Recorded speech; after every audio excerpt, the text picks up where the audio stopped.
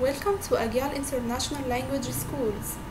Today we are going to talk about families celebrate. Each family has customs and traditions.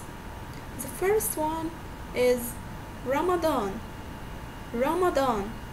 In Ramadan we decorate our houses by Ramadan decorations and we go to the mosque to pray and we try to finish reading whole Quran.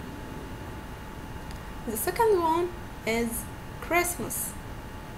Christmas. Christmas is one of the most popular festival. In Christmas, people eat meat or chicken.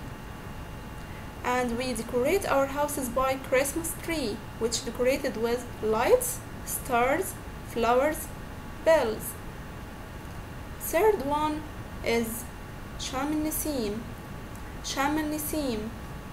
In Sham Nisim, children color the eggs and they go to the gardens to play with other friends. And finally is birthday. Birthday. In birthday, we decorate our houses and we buy a cake and we celebrate it with our friends.